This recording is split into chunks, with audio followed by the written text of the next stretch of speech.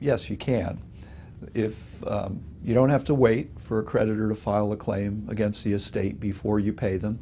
If a bill comes in, such as a medical bill, and you know that it's a valid bill and you're the personal representative, uh, you can access the estate funds and pay that bill. If you do that, though, there is a process for filing something called a personal representative's proof of claim.